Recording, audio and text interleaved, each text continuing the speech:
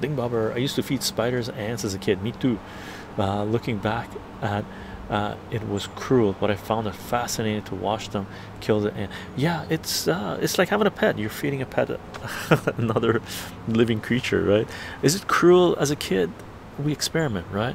As uh, uh, not Spike, but uh, uh, Jet from Cowboy Bebop.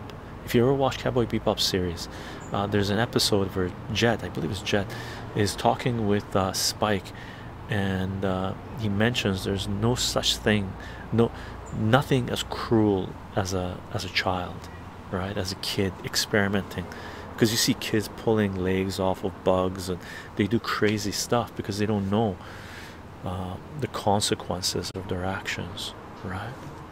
And it is true. It is true.